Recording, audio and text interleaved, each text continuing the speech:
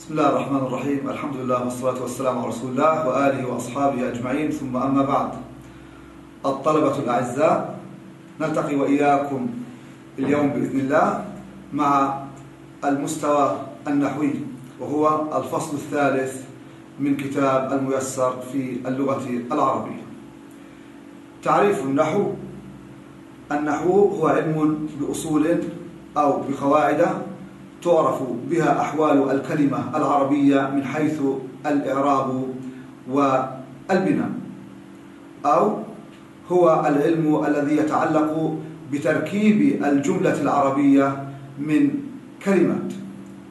تذكرون عندما تكلمنا عن علم الصرف قلنا إنه ذلك العلم الذي يتعلق بالتغيرات الطارئة على البنية الداخلية للكلمة الواحدة. مثلا لعب لاعب ملعب وهكذا. لكن علم الصرف يتعلق فقط بالكلمة معزولة عن الجملة. أما علم النحو فإنه يتعلق بتأليف الجمل من كلمات.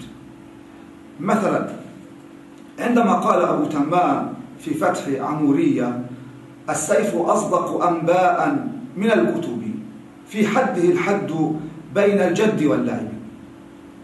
أظن أننا جميعا استمتعنا بموسيقى هذا البيت وبكلماته وبمعناه الجميل. لكن لو بعثرنا نفس الكلمات وقلنا مثلا أنباء الحد السيف الجد اللعب في حده إلى آخر كلمات البيت. لن يبقى المعنى الجميل على حاله مطلقا. وهذا هو ميدان علم النحو.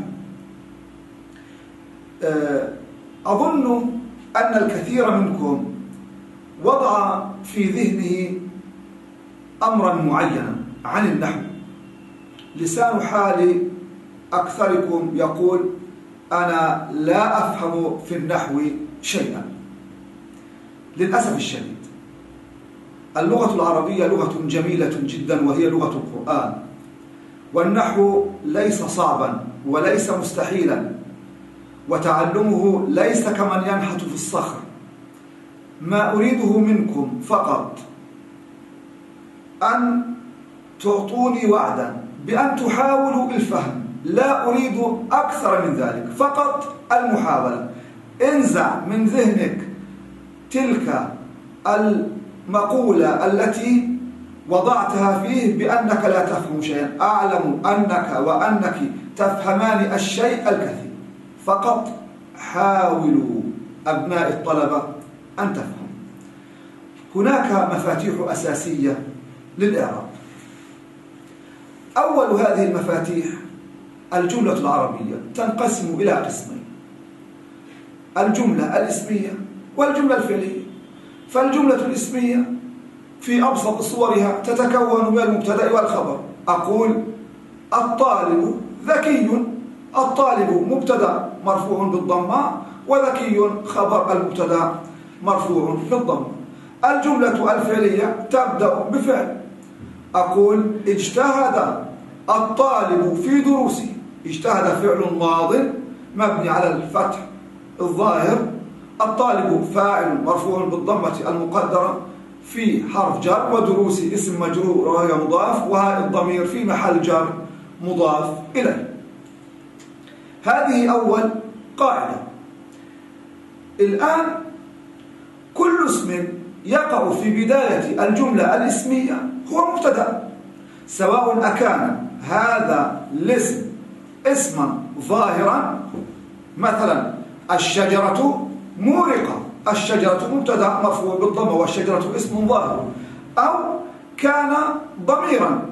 مثلا هي مجتهدة.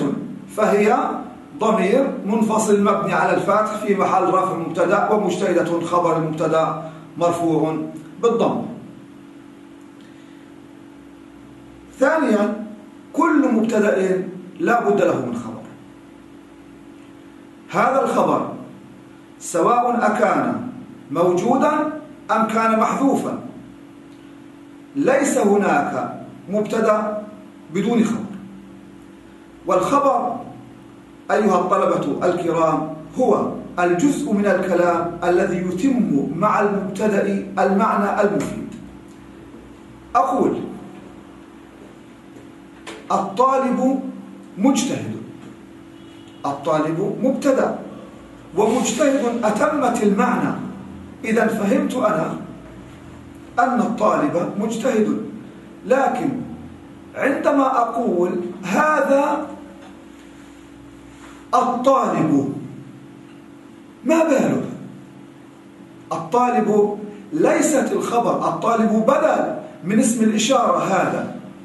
فإذا أتممت الجملة بكلمة مجتهد تم المعنى.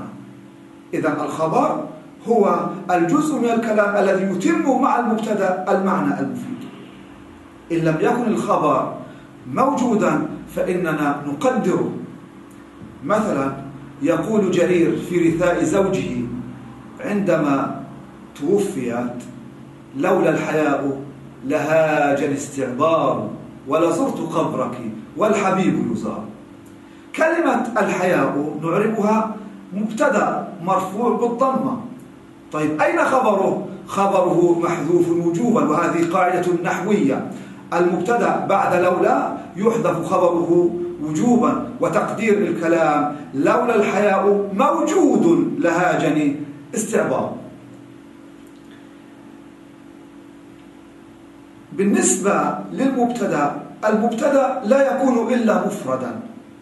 أو يمكن أن يؤول بمفرد كقوله عز من قائل وأن تصوموا خير لكم أن الناصبة المصدرية والفعل المضارع بعدها تؤول بصومكم خير لكم بعد أن نعرب الإعراب التفصيل نقول والمصدر المؤول في محل رافع مبتدأ أما الخبر فيمكن أن يأتي مفردا أو شبه جملة بنوعيها أو يأتي جملة اسمية أو جملة فعلية وهكذا.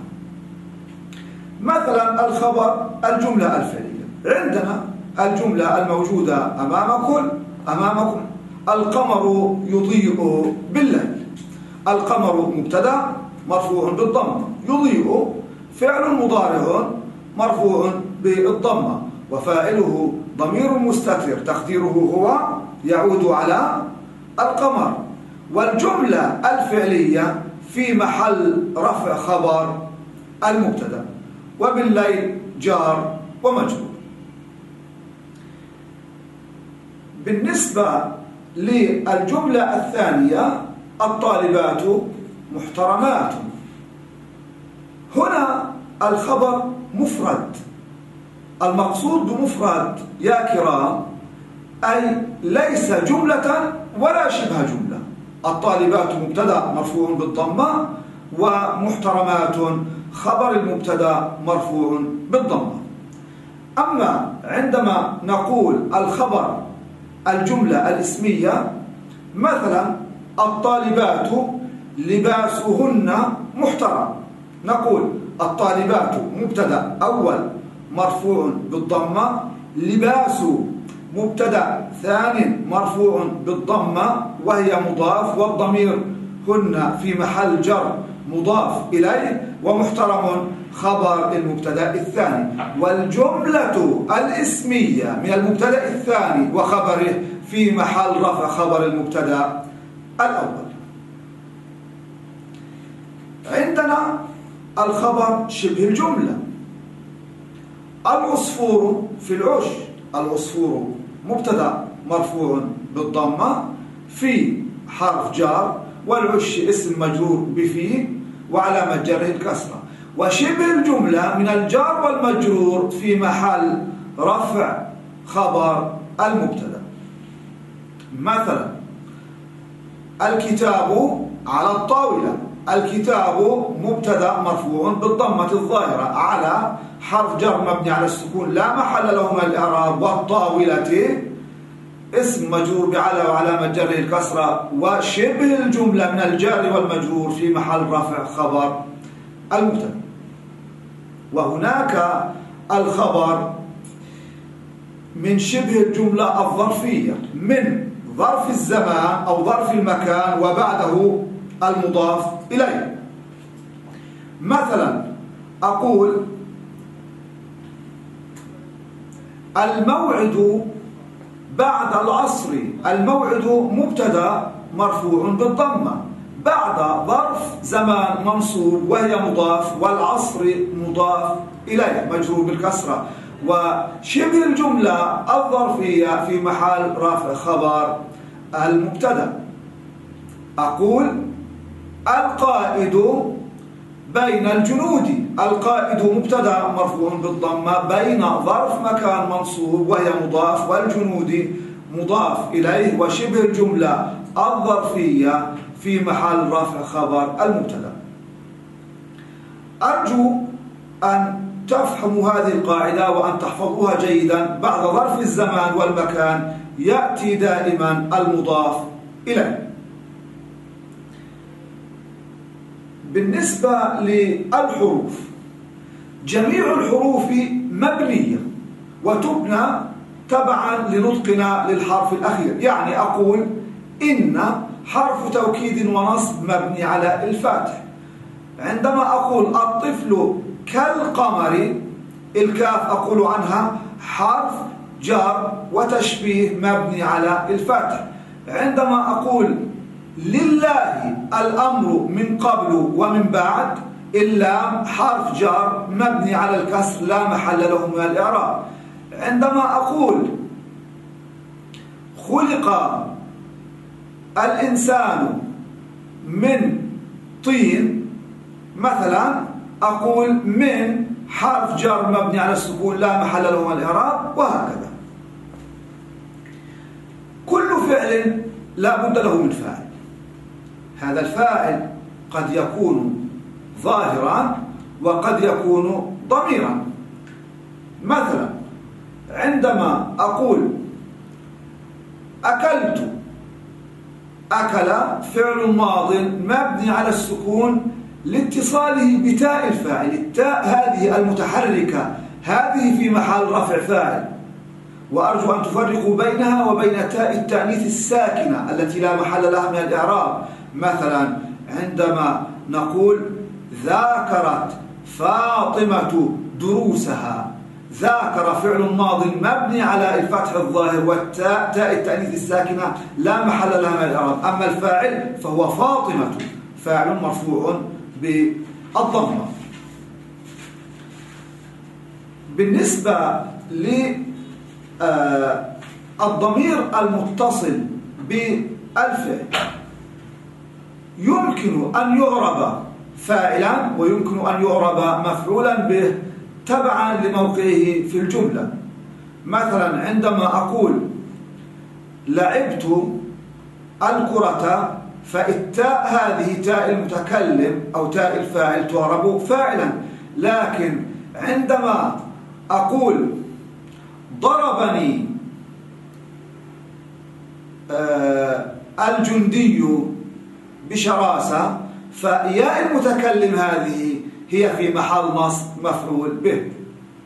أما الضمير إذا اتصل بالاسم فإنه دائما يعرب مضافا إليه وليس له أي إعراب آخر. مثلا أقول كتابي أقول وطننا أقول أخلاقي كلها بالضمير هنا في محل جار مضاف إليه إذا اتصل الضمير بكان وأخواتها أو إن وأخواتها فإنه يعرب اسما لكان أو إحدى أخواتها أو إن أو إحدى أخواتها. مثلا يقول عز من قائل أعوذ بالله من الشيطان الرجيم. كانوا قليلا من الليل ما يهجعون. فواو الجماعة اتصلت بكان الفعل الماضي الناقص. واو الجماعة هذه ضمير يعرب في محل رفع اسم كان وعندما أقول إنه مؤدب فهاء الضمير التي اتصلت بإن الناصبة المؤكدة أيضا ضمير متصل مبني على الضم في محل نصب اسم إن. طبعا آه، من نافلة القول إن كان وأخواتها أفعال ناقصة ناسخة. تدخل على الجملة الاسمية فترفع المبتدأ ويسمى اسمها وتنصب الخبر ويسمى خبرها. أما إن وأخواتها فإنها حروف ناسخة تدخل أيضا على الجملة الاسمية لكنها تعمل عكس عمل كان وأخواتها. فتنصب المبتدا ويسمى اسمها وترفع الخبر ويسمى خبرها.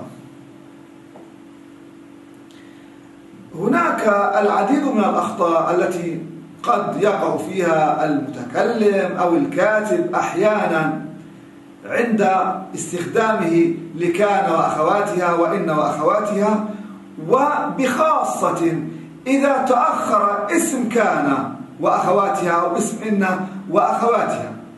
يعني نحن ليس من الضروري أن نسير مع الجملة بخط أفقي ليس من الضروري أن يأتي اسم كان مباشرة بعدها أو اسم إن مباشرة بعدها. قد يتأخر لكن تأخره لا يغير من إعرابه شيئا. مثلا عندما أقول كان بين الحضور ثلاثين سيدا. هذه الجملة فيها خطأ وهو كلمة ثلاثين. أساس هذه الجملة يا كرام بين الحضور ثلاثون سيدا. بين ظرف مكان منصوب وهي مضاف والحضور المضاف إليه مجرور بالكسرة. وشبه الجملة في محل رفع خبر مقدم. ثلاثون مبتدا مؤخر مرفوع بالواو لأنه من ملحقات جمع المذكر السالم. وسيدة تمييز منصوب بالفتحة طيب دخلت عليها كان. لن يتغير الإعراب. فقط ثلاثون بدل أن كنا نقول إنها مبتدا سنقول إنها اسم كان. إذا تصويب هذا الخطأ هو كان. بين الحضور ثلاثون سيدا.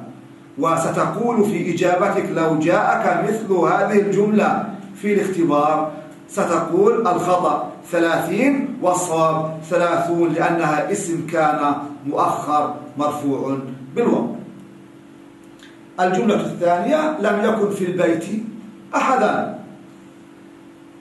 لم يكن في البيت أحدا. الخطأ هو في كلمة أحدا. فأحدا هي اسم يكن مؤخر. إذا لابد أن تكون. لم يكن في البيت أحد.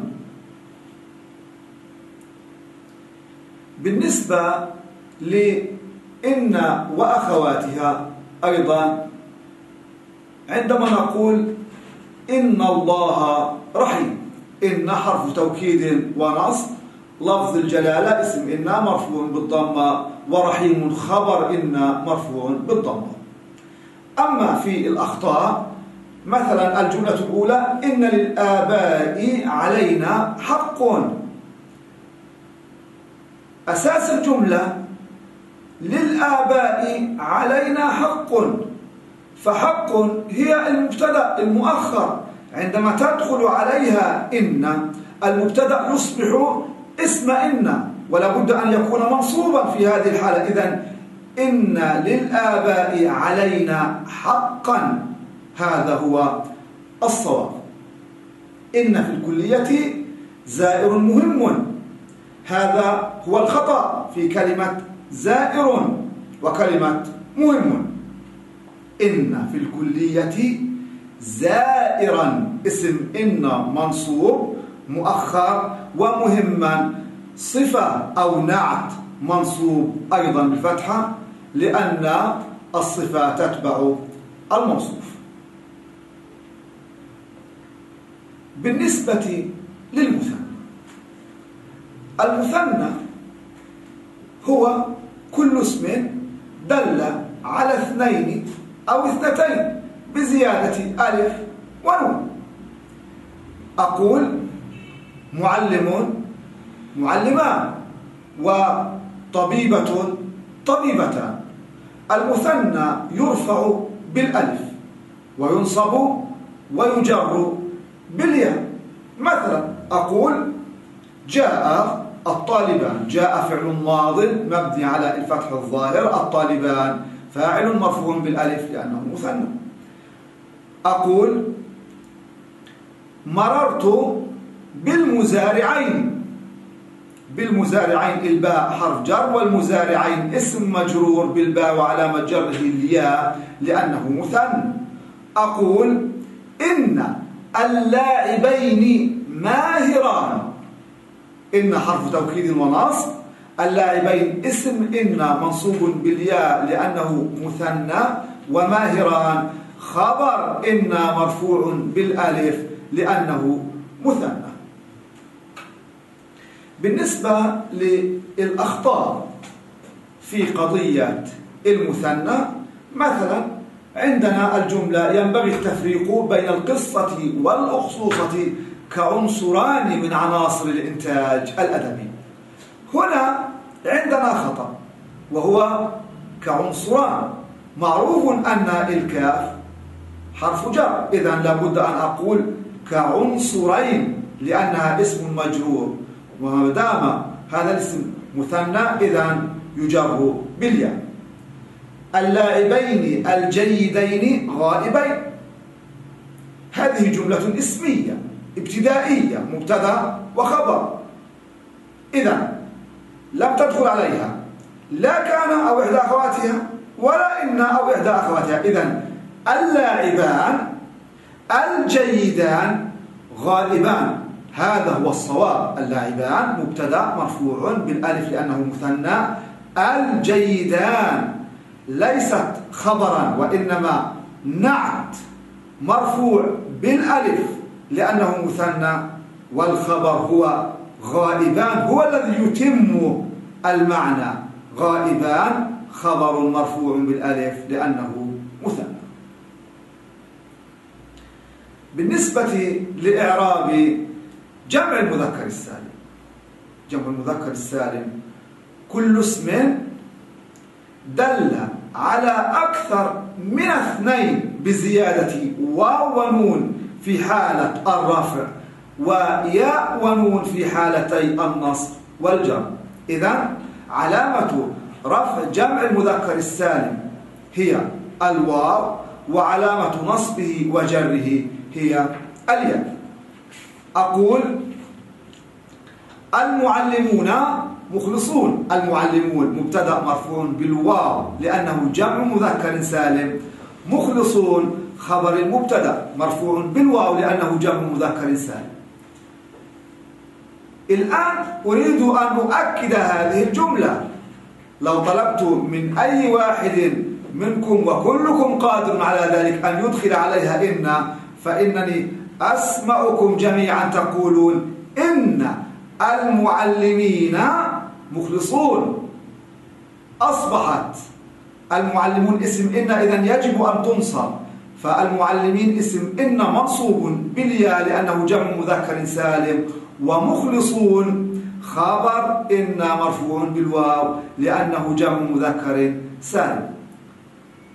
ولو طلبت منكم أن تجعلوا كلمة المعلمين وكلمة المخلصين مجرورة فإنكم لا بد ستضعونها في مثل هذا التركيب. مثلا سلمت على المعلمين المخلصين على حرف جر والمعلمين اسم مجرور بعلى وعلامة جره الياء لأنه جمع مذكر سالم والمخلصين.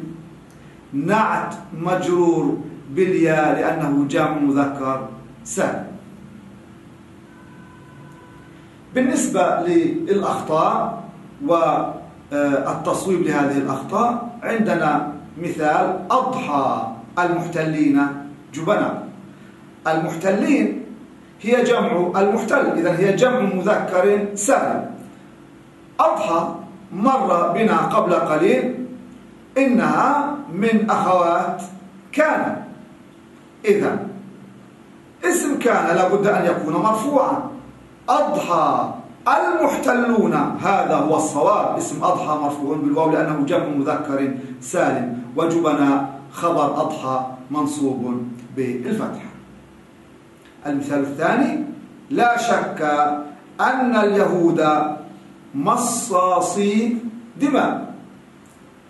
الآن أساس الجملة اليهود مصاصو دماء عندما دخلت عليها إن ودخلت عليها أن أصبحت لا شك أن اليهود مصاصو دماء لأن مصاصو هي خبر أن ومعروف أنها لابد أن تكون مرفوعة فهي مرفوعة بالواو لأنها جمع مذكر سالم. طبعا النون حذفت للإضافة. بالنسبة للأسماء الخمسة. الأسماء الخمسة نوع خاص من الأسماء.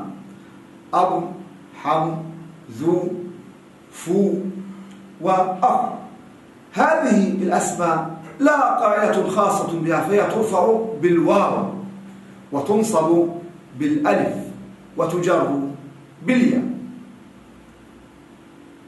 أرجو أن تنتبهوا عند تناولنا للأمثلة وللجمل إلى أمر مهم وهو أنه لا بد أن يأتي بعد كل اسم من الأسماء الخمسة مضاف إليه مباشرة سواء أكان اسما ظاهرا كقولنا أبو بكر رضي الله عنه أول خليفة بعد الرسول صلى الله عليه وسلم.